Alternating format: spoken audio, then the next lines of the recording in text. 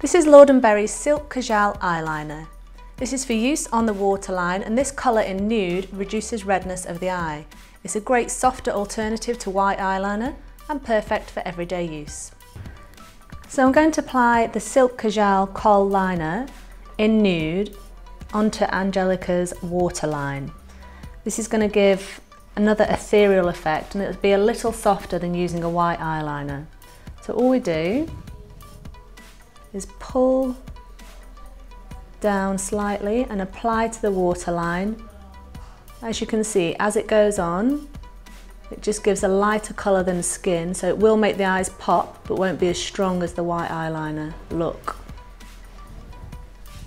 And again, I'm just popping this sponge here so I don't take off any foundation, and I can rest my hand on it. Make sure the pencil's not too sharp. It's a little bit soft on the end so we don't poke anyone in the eye. And there we go. Just gives a little reflection of the eye and it's a perfect colour for everyday use.